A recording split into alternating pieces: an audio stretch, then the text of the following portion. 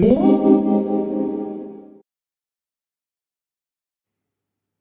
the following video, we are going to take a look at taxation, how it impacts the market, and tax incidence. We will need to establish a basic understanding of tax, and we'll examine taxation further in the following units when discussing government macroeconomic policy. Before we define any key terms, it is important to understand why government imposes taxes. Taxes serve to discourage consumption, also to raise revenue for the government. This tax revenue is used to fund government spending. We will go into further detail regarding taxation and government spending when we explore fiscal policy in a later unit. A direct tax is levied on income, wealth, and profit. Direct taxes include income tax, capital gains tax, and corporation tax. It is taken directly from the individual or entity earning income. An indirect tax is levied on expenditure. While it is collected from sellers, sellers will often pass some of this tax on to the buyers of their products. How much is passed on to consumers is called a consumer incidence, and the portion that is paid by the producer is called a producer incidence. We'll examine this shortly. There are two types of indirect taxes we are going to analyze in diagram. The first is a specific or per unit tax, which is a fixed amount of tax charged to the seller for each good or service sold. The second is an ad valorem tax or value added tax, which is a tax that is based upon the value of a transaction. It is often levied as a percentage of the goods value. We'll take a look at the impact of a specific tax for products that have elastic and inelastic demand. With this market in equilibrium, we establish our starting point for analysis.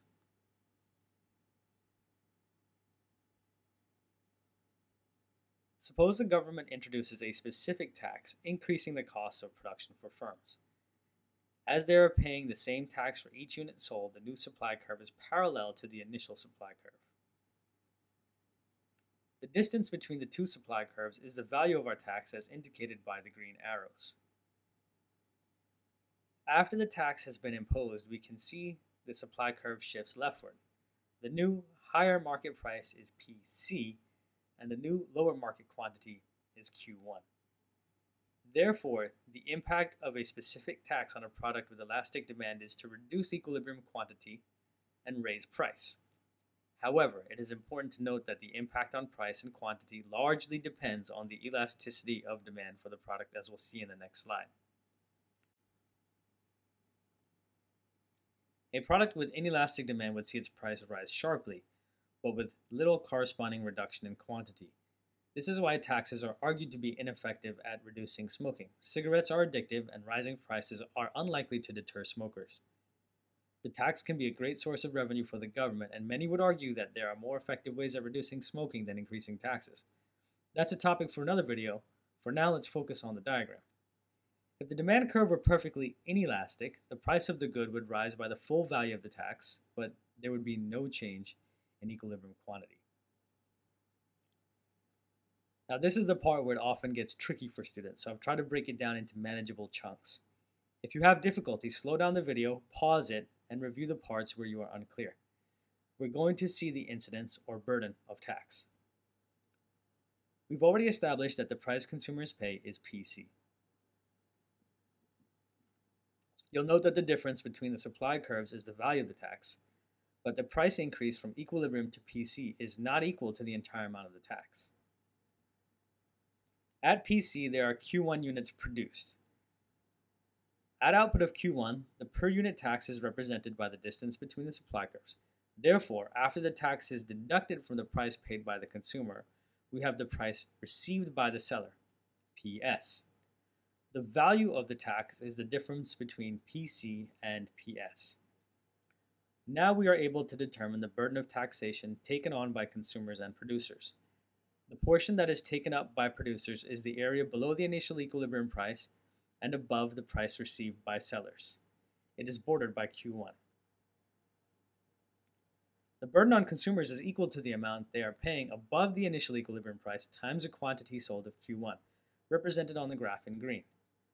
The total tax revenue received by the government is the area including both the consumer and producer burden. It can be calculated by multiplying Q1 times PC minus PS.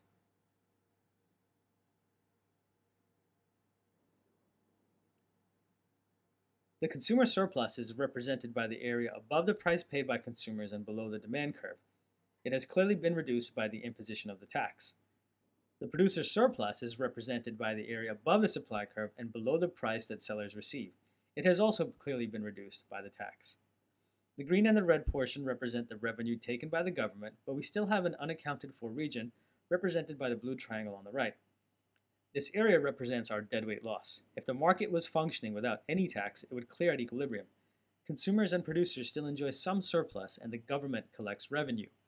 The blue triangle represents a reduction in the overall welfare of society since no party can enjoy the benefit, resulting in deadweight loss. The value of each of these depends greatly on the elasticity of demand for the product, as we will see in the next example. I'd encourage you to pause this video and replicate this diagram in your notes. Once you've done that, label the new consumer surplus, producer surplus, and deadweight loss. You should be able to draw and understand this diagram for all elasticity ranges from perfectly inelastic demand to perfectly elastic demand. All right, I hope you're still with me and are feeling more comfortable with the concept of tax, its impact, and incidence. This is a tough topic and one that many AS students struggle with. I hope we've been able to shed some light on the subject and help you understand it better.